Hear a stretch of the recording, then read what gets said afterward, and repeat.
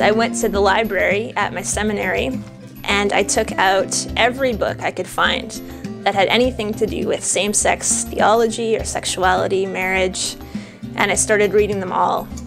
And as I did that, I, I kept track of all the arguments and counter arguments and the scriptures and all the different approaches in a, a huge Microsoft Word document that's now over 170 pages long.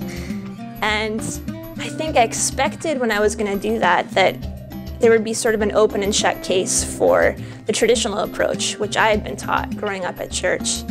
And at first that seemed to be the case, but I remember reading a book by somebody who I would have considered more liberal.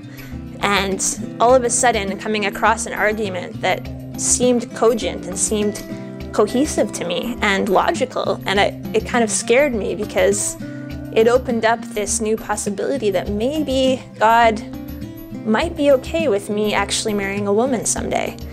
And that freaked me out.